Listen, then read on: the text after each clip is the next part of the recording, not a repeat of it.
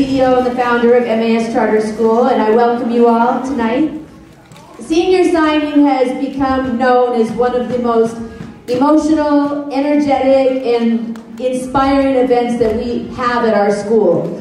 This is only our third one because our last two graduation class, graduating classes didn't get the opportunity to do this because of COVID. So it's so nice to see you all. It's nice to be back in person and doing this. We, I need to tell you just a little tiny touch of our history for you to kind of understand this, okay? We got a little theme tonight. So at the beginning of the school year, I met with our staff and I uh, went over a little presentation with them about kind of crazy goals. So I'm going to give you a little condensed version of that. So our backstory, we opened, our 10 year anniversary is coming up in July. So yay, you can clap, that's good. Okay. So 10 years ago, we opened our doors. We started with 100 students, grades 6 and 7, and we had 10 staff members. Okay? When the charter idea was conceived, I, I was living in New York, in New York City. and then in around 2011, I decided, I'd, I'd been all around the country, and I shouldn't say all around, but enough states, where I saw education, and I often worked in Title I schools, and I often saw how much of a need there was for quality schools. I lived here before, and I felt like out of all the places I had lived, this was a place that really could use quality schools. We opened 10 years ago, 100 kids, 10 staff.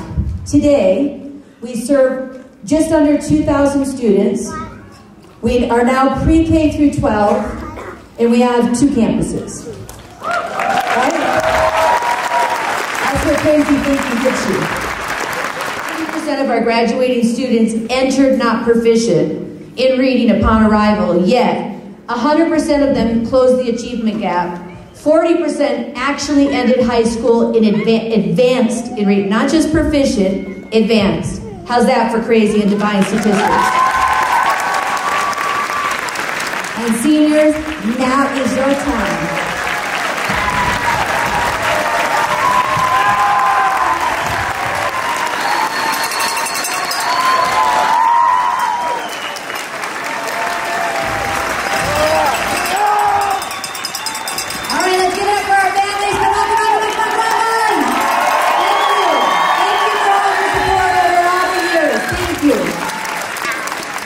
Um, many of you know Adrian. Um, he's in the Navy. Thank you, thank you, give it up, thank you. My boy Adrian back there. He just received a contract in the Navy for Mineman. He's going to be a counterattack for mines on special uh, missions like that. So don't ask him about it, all right? And then we're presenting him with a GI Bill for $190,000 to any college